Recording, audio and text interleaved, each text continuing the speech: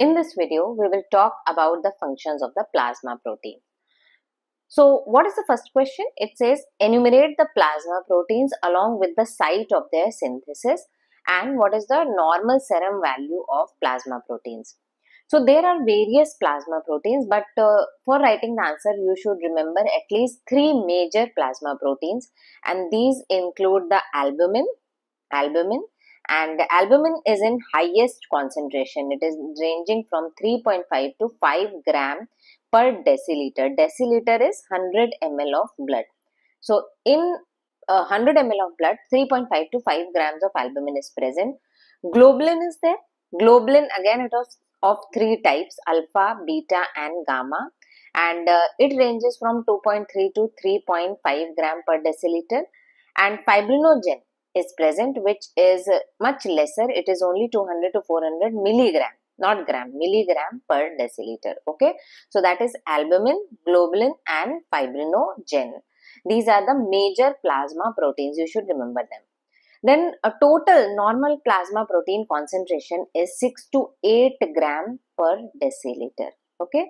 So albumin you remember easy values to remember 3.5 to 5 this you can remember round it off you can remember is 2.5 to 3.5 and fibrinogen no need to remember the uh, concentration as such okay? Normal plasma protein concentration 6 to 8 gram per deciliter. And where are they synthesized? Remember if it is not told where are they synthesized then rule of thumb is that they are synthesized in liver okay? So all plasma proteins are synthesized in liver except some exceptions are there and in this list the exception include the gamma globulin okay so here globulin we have seen three types alpha beta and gamma so this gamma globulin is the one which is produced by B lymphocytes. Actually, these are the antibodies, the immunoglobulins. Okay, so these gamma globulins are synthesized by B lymphocytes. This is asked as MCQ as well. Rest other are synthesized in liver. Moving on to the next question that what is the significance of albumin globulin ratio. So we have seen the concentration of albumin and globulin. Albumin was 3.5 to 5 gram per deciliter and uh, globulin is how much? It is 2.5 to 3.5 gram per deciliter. So what will be its ratio? You just divide albumin by globulin and you will get a ratio of 1.5 to 2.5 is to 1 okay? So if there is one globulin in with respect to that there will be 1.5 to 2.5 albumin. Okay? So this is the normal ratio. Important to remember clinically it has significance because we have seen albumin levels are more compared to the globulin. So there are certain diseases in which albumin globulin ratio decreases. Okay? And why it decreases? See it decreases in liver diseases. Liver diseases. Why? See albumin we have seen that it is synthesized in liver. Globulin also is synthesized in the liver but it has its component gamma globulin gamma globulin which is synthesized by the b lymphocytes right? So if we see the ratio there is decrease in albumin more compared to that of the globulin okay? So globulin doesn't decrease proportionately as gamma globulins are synthesized by B lymphocytes. So, albumin globulin ratio decreases in liver diseases. You will be asked a question, give reason why albumin globulin ratio decreases in liver diseases. So, that can also be a question, right? Moving on to the next question. Briefly explain the functions of plasma protein. So, this can be a short answer question. Now, we have seen three major plasma proteins, albumin, globulin, fibrinogen. So you should at least remember the functions of all of these, right? And then there are other proteins also which have functions. So first is albumin. Albumin main function is to exert oncotic pressure, okay? So in the vessels, there are two types of uh, pressure. These are the Starling's forces that is known as hydrostatic pressure. So let me draw. If this is the capillary and here blood is flowing, there will be hydrostatic pressure which is a push force for the movement of the fluid outside the capillaries. And then there is oncotic pressure. Oncotic pressure is due to the presence of these plasma proteins mainly albumin right?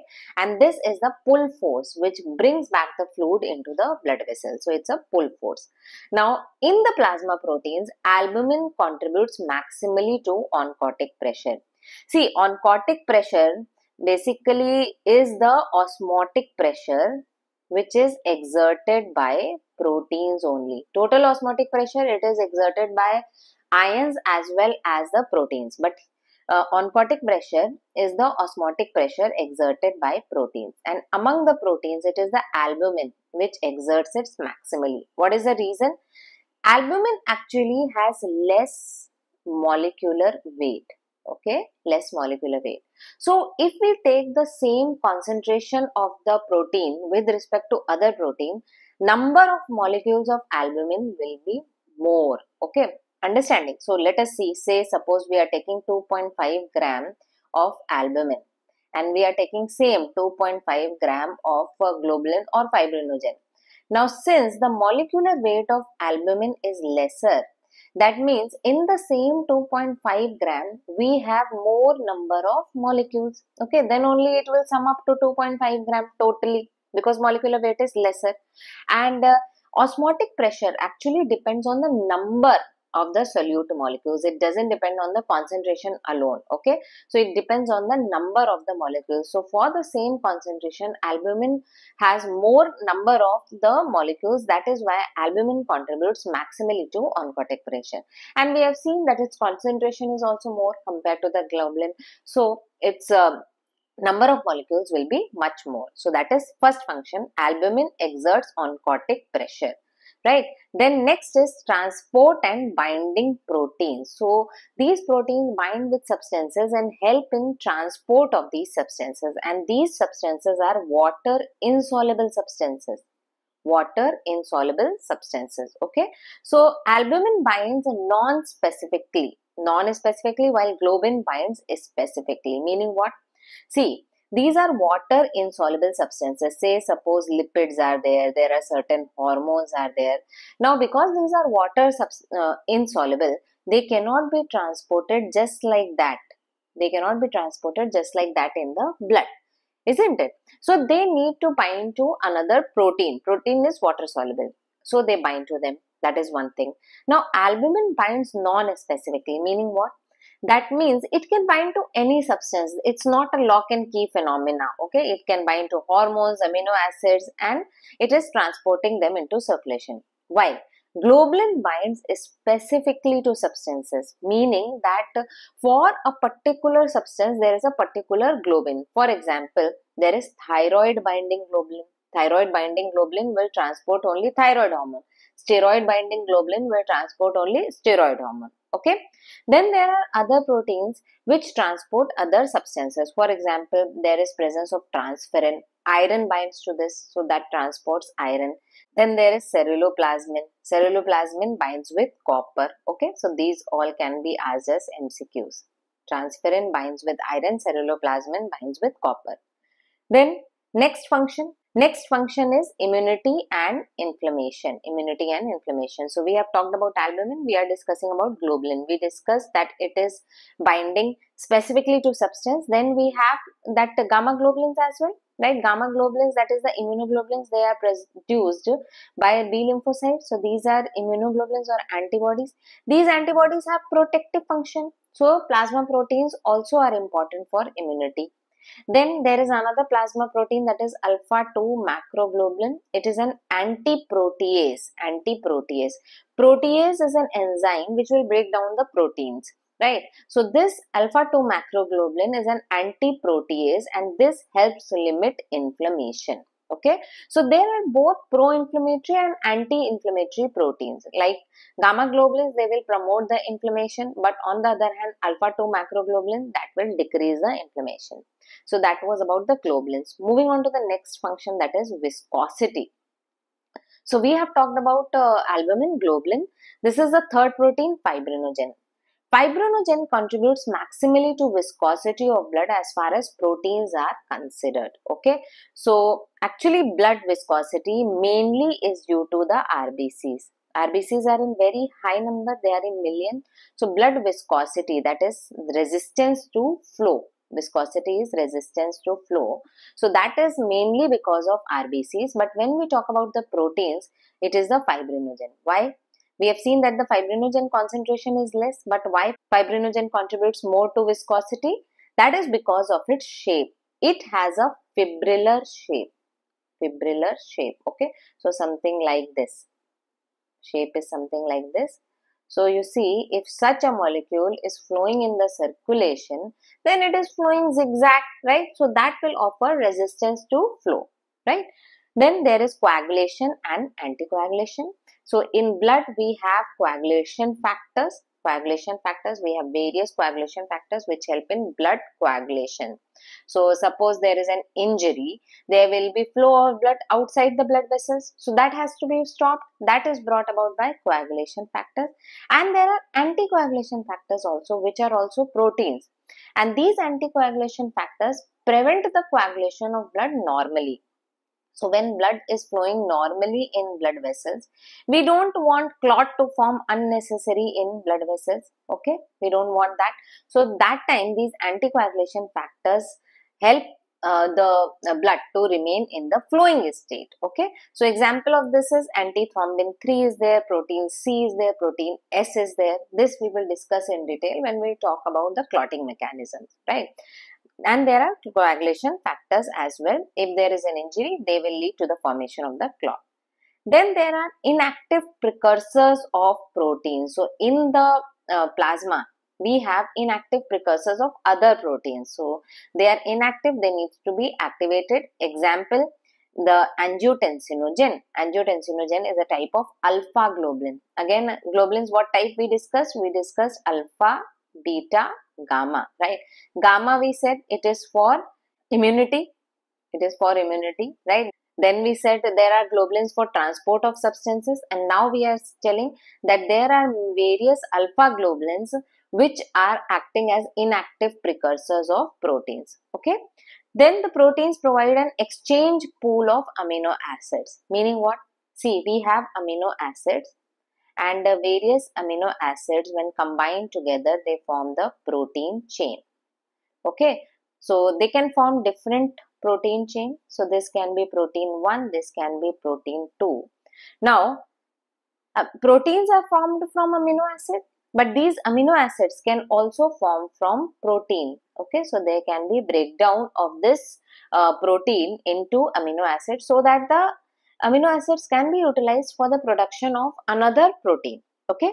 So that is exchange pool. That means the pool of amino acids is being recycled. Some plasma proteins are being broken down other plasma proteins are being synthesized by maintaining this amino acid pool.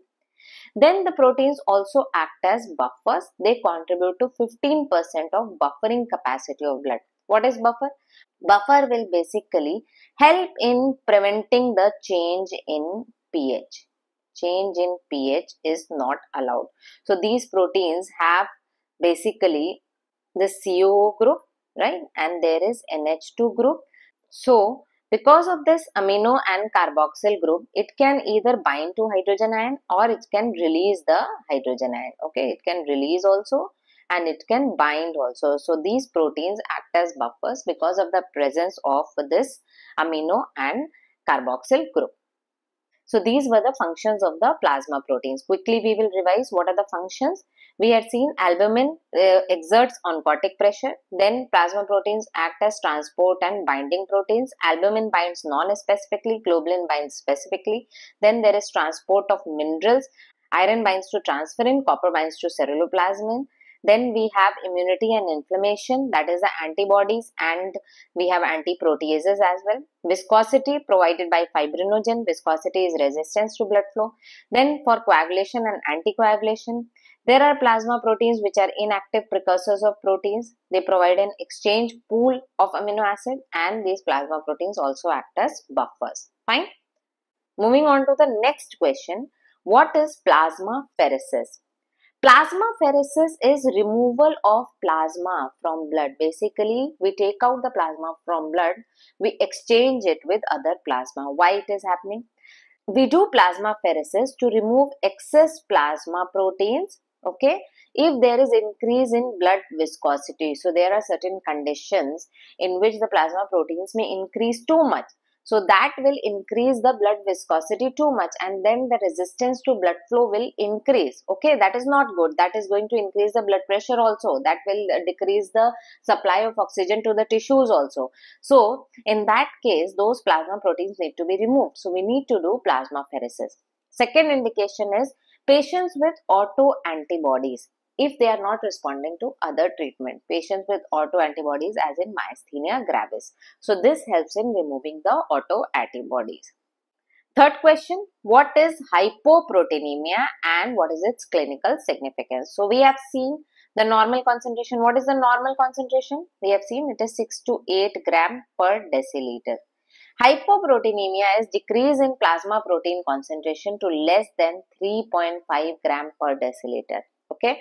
And this decrease in plasma protein decreases the oncotic pressure and hence leads to edema okay? So we have seen that albumin is the main protein which is exerting the oncotic pressure. When the plasma protein concentration decreases so much then the oncotic pressure decreases. And we have seen that in blood vessel there are two types of forces hydrostatic force which is a push force oncotic pressure which is the pull force so if oncotic pressure is less, this pull force will decrease and there will be accumulation of fluid in the interstitial space. Interstitial space. So this is known as edema. So decrease in plasma protein concentration, it is going to lead to edema. Now when will this decrease occur? What can be the causes? It can occur if there is decrease in synthesis of these plasma proteins or it can occur if there is increased loss of these plasma proteins okay? So decreased synthesis when it will occur. We have seen that plasma proteins are being synthesized in the liver. And for their synthesis amino acids is required okay? So if there is decrease in amino acids in blood. When can it occur? If there is malnutrition, the person is not taking protein diet, the person is malnourished or there is malabsorption. That means he is eating properly but whatever nutrients are there, they are not being absorbed. Okay, so malnutrition, malabsorption. Then second is liver disorders because okay, there is availability of raw materials but the machinery itself is not working. So liver diseases and when will increased loss of protein occur? It can occur if there is increased breakdown as it occurs in burns or there is loss of these proteins in the kidney. Okay, normally proteins are not filtered in the kidney, proteins are not lost in urine. But if there is presence of some kidney diseases basically glomerular disorders occur in which there is filtration of these proteins as well and then they are being lost in the urine so that is known as nephrotic syndrome so in that case there will be increased loss of proteins and all these causes will lead to edema that is edema occurring due to decrease in oncotic pressure. There are other causes of edema that we will see in Starling's forces, but here we are talking only about the plasma proteins. So those were the different questions which are asked in plasma protein. Before ending, I just want to inform that uh, you can download the app Physiology Open where we have uh, full MCQs in physiology, detailed exhaustive MCQs are there. We have notes in physiology, question and answer notes in physiology. We have full physiology videos also. Thanks for watching the video. If you liked it, do press the like button, share the video with others and don't forget to subscribe to the channel Physiology Open. Thank you.